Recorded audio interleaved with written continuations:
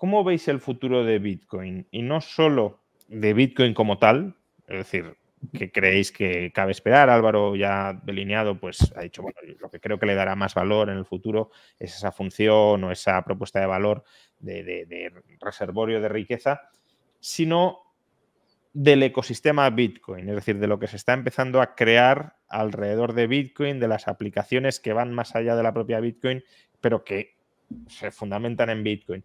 ¿Creéis que eso tiene recorrido? ¿Creéis que ahí puede fructificar algo? Eh, ¿Creéis que está todo por hacer y por tanto no podemos anticipar nada? ¿O que ya se empieza a ver por dónde pueden ir em, los tiros o, las aplicaciones más, más importantes? Yo, si queréis empiezo yo y, y, bueno, Álvaro, si empiezas tú también dinos cómo en el máster se aprende sobre eh, para mí, eh, eh, eh, vamos, por, experiencia propia, ¿no? Cuando yo comprendí Bitcoin, porque para mí Bitcoin fue una obsesión durante, durante varios años, ¿no? De entender qué era, estudiarlo mucho, muchas horas, por, suerte o por desgracia, ¿no? Y cuando entendí que era un registro global, ¿no? De derechos, de propiedad absolutos, eso, es lo que a mí me, me cambió completamente la visión, ¿no? Porque es es cuando dejas, cuando dices, es que, es que todo el mundo necesita algún tipo de propiedad o, mucha gente necesita algún tipo de propiedad, ¿no? Tener un tipo de propiedad de estas características para muchas familias es, es fascinante, ¿no? Y sobre un registro de propiedad se pueden construir también cosas, ¿no? Por eso el registro de propiedad central de Bitcoin, ¿no? Este, esta, este on-chain, esta capa, este, este, esta base, pues es algo sobre lo que se puede construir mucho, ¿no? Y, y yo creo que, que por desgracia ha habido como mucha financiación de otro tipo de proyectos de criptoactivos, de blockchains y de cosas, y se ha dejado mucho de construir en Bitcoin precisamente porque no había empresas que financiasen, ¿no? no Bitcoin es una empresa, nadie aquí te está financiando proyectos, nadie va a sacar rendimiento más que el valor que tú seas capaz de aportar y de, y de, y de cosechar, ¿no? Entonces yo creo que, aunque bueno, hablará eh, mucho Gabriel sobre esto también. Eh, que, sí que se puede esperar de Bitcoin precisamente eso, ¿no? Primero que, cada vez más gente vaya aprendiendo a tener un tipo de propiedad secreta portátil que haga los deberes con Bitcoin, que esto es lo fundamental, ¿no? Y eso en el posgrado, pues por supuesto vamos a enseñarlo. Luego también que vaya evolucionando eh, las formas de acceder a Bitcoin como un depósito de valor, como una manera de aparcar nuestra riqueza para el futuro. Yo creo que en esto los reguladores tienen un papel también importante, no, no respecto de la red de Bitcoin, que, le dan completamente igual a los reguladores, ¿no? sino para que el público en general pueda acceder a esta clase de vehículos. Es decir, que fondos de pensiones puedan invertir en Bitcoin eh, no me parece una cosa completamente descabellada. ¿no? Eh, que fondos de inversión grandes, que estados, ¿no? que, todo ese tipo de cosas se vaya avanzando en ello, me parece bastante razonable. Incluso que los bancos, como ya está pasando en Alemania y en otros países, eh, vayan, vayan facilitando también el acceso. ¿no? Y sí, eh, hay mucha gente que no va a hacer las cosas con privacidad, haciéndose una autocustodia perfecta, ¿no? Pero hay gente que quiere tener exposición al precio de Bitcoin y, puede hacerlo mediante vehículos más, más, más seguros. Ahora bien, estamos viendo un cambio también gigantesco, que, no lo hemos comentado, ¿no? Que es la relevancia política de Bitcoin. ¿no? Es decir, eh, yo, he estado en Nashville hace, hace, nada en la conferencia de Bitcoin allí y tenemos a un candidato como Donald Trump en una conferencia de Bitcoin. Pero es que teníamos a otro que ahora se ha unido a su campaña también, ¿no? Y a Robert Kennedy Jr. pidiendo una reserva estratégica nacional de Bitcoin de 4 millones de Bitcoin para Estados Unidos. Es decir, estamos viendo cómo Bitcoin se ha convertido en un tema electoral en el primer país del mundo. Esto, a mí me, ha dejado boquiabierto completamente, ¿no?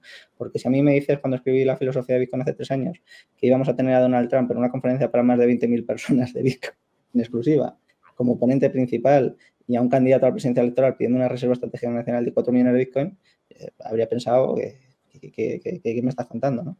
Y, y, lo es, ¿no? Se ha convertido en un tema de campaña electoral. Y a medida que más ciudadanos en el mundo vayan entendiendo esta propuesta de valor, pues los políticos van a tener que ir adaptando a ello, ¿no? Como comentaba con eso de, eh, la pólvora, al final, la peor estrategia que puedes seguir en el momento de la pólvora no era perseguirlo y prohibirlo en tu territorio, ¿no? Lo mejor que puedes hacer es armar a, tus ciudadanos y enseñarles a utilizar todo eso. Entonces yo creo que, en Estados Unidos está pasando eso, eh, más que, en otros países del mundo, y, espero que en Argentina eh, pues también podamos ver ese tipo de medidas, porque la verdad es que, es que la BitConf es una conferencia gigantesca. A mí me impresionó. Rodolfo me dio la oportunidad de abrirla hace dos años y yo me, me quedé impresionado de hablar para miles de personas que me cojan del brazo y me digan que me invitan a su casa a comer. son cosas que, asombran y, la verdad es que, es que es fascinante. ¿no? Entonces, haced los deberes con Bitcoin. Eh, yo creo que el programa es una oportunidad maravillosa. Es mucho más de lo que yo me habría imaginado, eh, de lo que a mí me habría gustado que me enseñasen en el momento en el que empecé a estudiar todo esto. Y yo creo que hemos conseguido una cantidad de profesores maravillosos eh, para, que cada uno pueda seguir explorando y construyendo sobre este registro de la propiedad global. Yo creo que eso tiene más futuro que otras alternativas. ¿Veis que solo Bitcoin va a tener valor o también las aplicaciones que se generen alrededor de Bitcoin, porque en el máster también tenemos profesores eh, sobre ello, eh, pueden, pueden ser fuente de valor? Dale, Rodo, arranca si quieres. Eh, dos visiones, dos visiones sobre eso. Primero, tres visiones te diría. Primero, hay, hay valor en la mera búsqueda de creación y en, el, y en el proceso creativo y en el brainstorming y qué sé yo, y veo que en ecosistemas más de mayor desarrollo que Bitcoin, ¿sí? otras blockchains, hay muchísima búsqueda de innovación y gente probando hacer cosas, muchas más que en Bitcoin. Bitcoin es más, es más aburrido, si quisieras, en ese, en ese contexto, a pesar de que ahora hay toda una nueva movida de muchísimas plataformas y, y, y lenguaje de programación que se están montando sobre Bitcoin y qué sé yo, que está por verse cómo, cómo, evoluciona, pero te diría que en el mundillo blockchain, ¿sí? Hay mucha innovación y mucho, mucha exploración, por lo cual creo que eso nunca resta, por lo pronto nunca resta. Eh, yo tengo una, una, visión un poco particular con respecto a, Bitcoin. Yo creo que cuando el, el, dinero, el dinero en el mundo es, es relativamente impuesto, ¿sí? Yo en Argentina solo puedo usar pesos y eventualmente puedo libremente por fuera, comprar dólares porque soy una persona libre, siempre puedo hacer lo que quiera, ¿no? Hasta el punto donde respete o no ciertas reglas.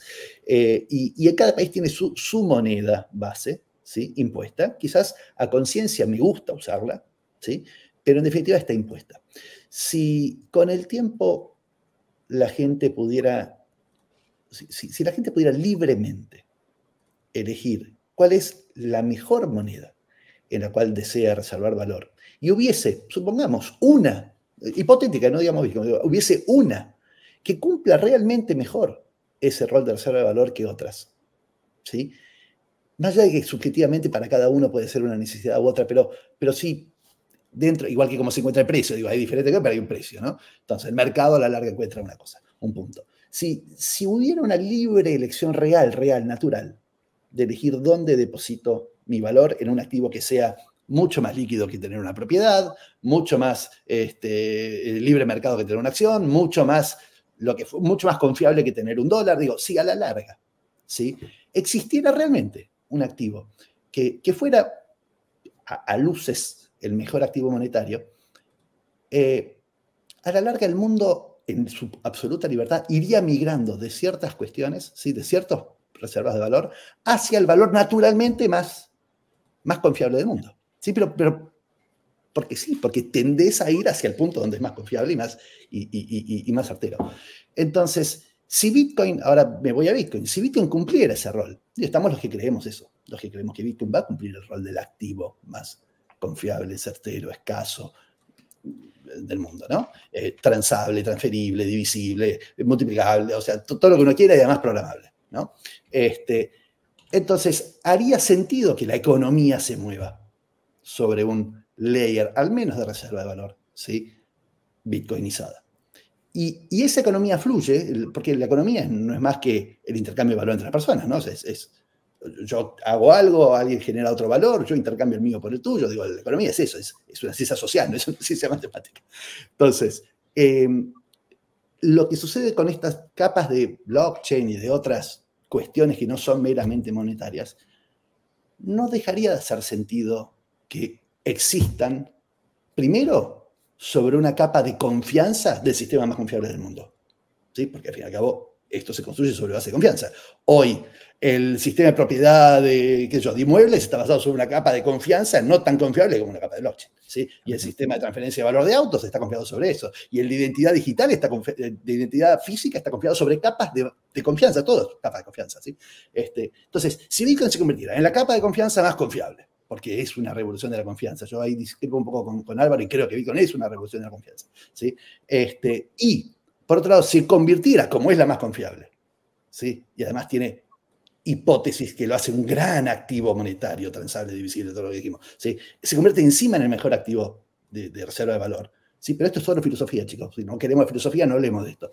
Pero si estas hipótesis se dieran, entonces no veo un escenario donde, donde Bitcoin no cumpliera un rol enorme. Enorme tanto para las capas nuevas que se construyan, donde se intercambia valor en forma más, esto es el certificado de dominio, esto es el, el tokenization de la soja, esto es lo que vos quieras, ¿sí? Pero ¿sobre qué capa de confianza?